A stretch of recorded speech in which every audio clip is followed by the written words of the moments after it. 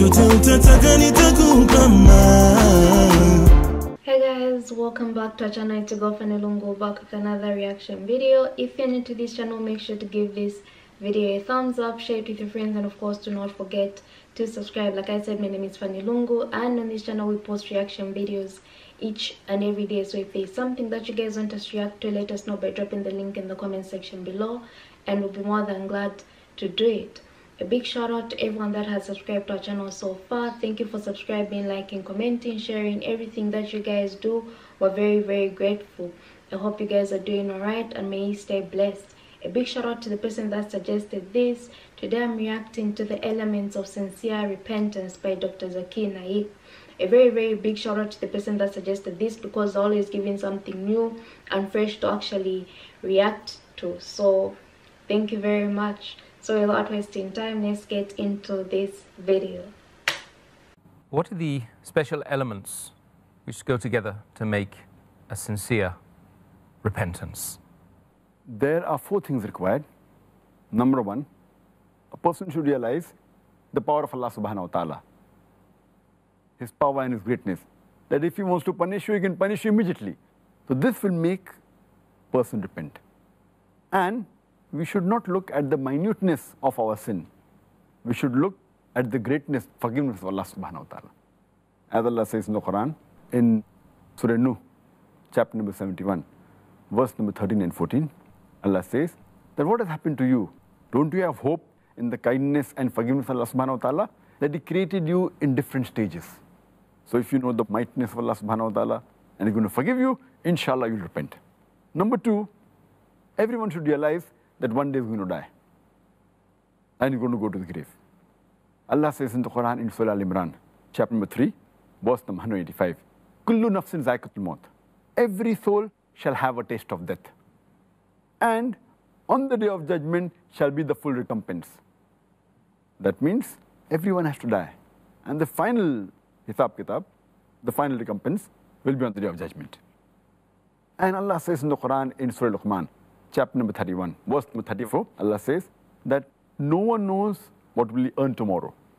And no one knows in which land will he die. So we have to realize that everyone has to die. And we don't know when will that time come.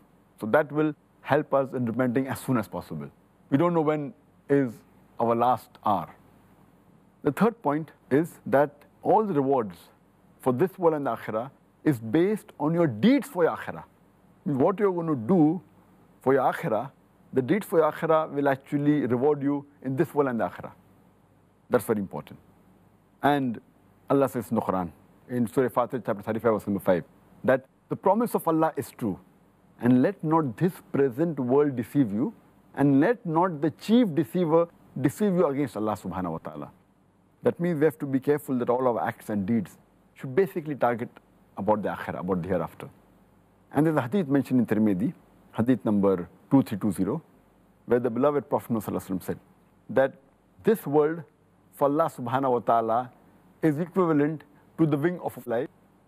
And Allah subhanahu wa ta'ala would not allow a disbeliever even to have a handful of water from it.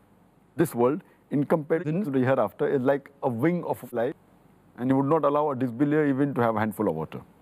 A similar message is given in Sahih Muslim, volume number 4, in the book of Paradise, hadith number 6483, where the beloved Prophet said that in the sight of Allah subhanahu wa ta'ala, this world, as compared to the hereafter, is like a person putting his finger, that's the forefinger, into the ocean. And when he gets it out, whatever is stuck to the forefinger is like the present world. The present world just hardly some little water that gets stuck to the forefinger. That's equivalent as compared to the mighty ocean. That is the hereafter. So, so little is the significance of this world as compared to the hereafter.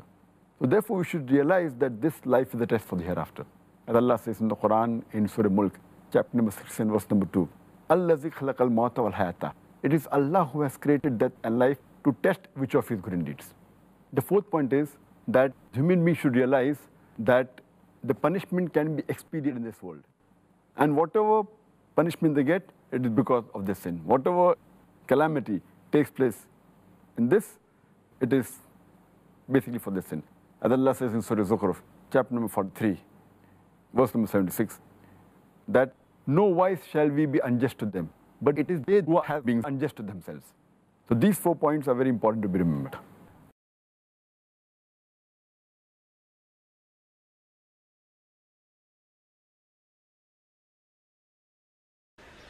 What people don't understand that sin is sin because there's some people that sin but are still going to call you out for making one mistake. Because you're not seeing the mistakes they want to call you out which shouldn't be the case. We have to recognize that we all sin different. We have to recognize that i sinned. It's not about what you think it's about what god thinks at the end of the day. It's not about what anyone thinks in the world it's all about me and god and my sin.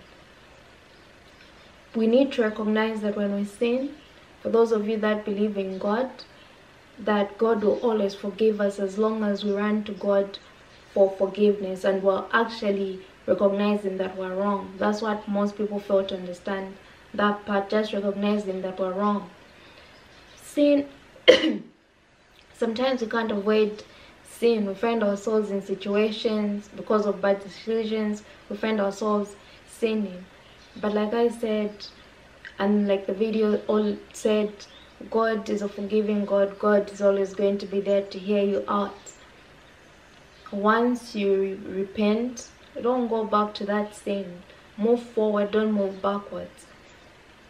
We don't know what tomorrow holds. We don't know anything about this world. That's a funny thing. Yes you know okay fine there's this function tomorrow but we we don't know if it's going to be possible or it's going to be distracted if there's going to be a storm if there's going just all things that we don't know. The most important part is about seeking god at the end of the day seeking god at all times of the day seeking god when we need god because he's always going to be there no matter what.